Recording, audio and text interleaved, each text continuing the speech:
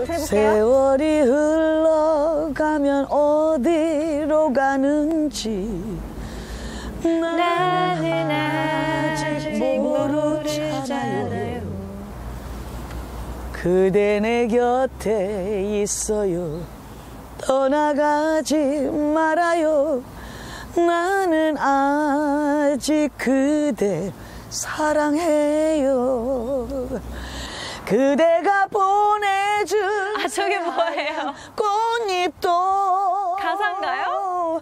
나의 눈물에 시들어 버려요 이거요 아유 가사는 제가 외우고 있지만 또 가물가물할까봐 컨닝 컨닝했어요 컨닝 페이퍼. 커닝 페이퍼 아니 근데 저게 보이신다는 거잖아요. 그래도 얘기하시면 어떡해 저게 보인다니까 신기한데요? 딱 걸렸어.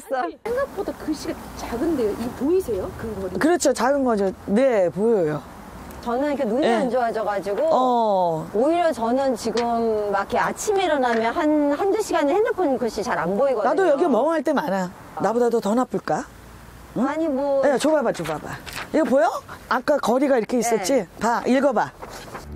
자, 사실은 안 보여요. 안 보이는데 느낌으로는 이 가사를 알기 때문에 그렇다면 가수 장은숙 씨는 어떨까?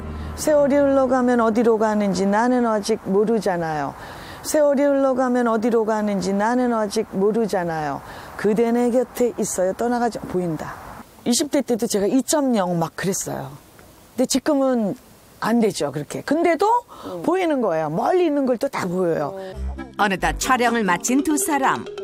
하나, 둘, 셋, 넷, 다섯, 띡.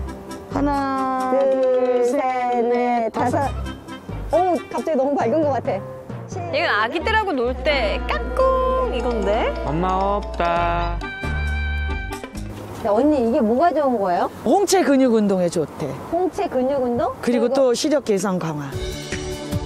빛이 들어오지 않게 눈을 가려주면 동공과 홍채가 열리게 되고 반대로 빛이 들어오게 되면 동공은 닫히고 홍채는 들어가게 되는데요. 이 과정을 반복하면 홍채 근육이 강화되면서 수정체의 조절력이 키워지고 시력 향상에 도움이 될 수 있습니다.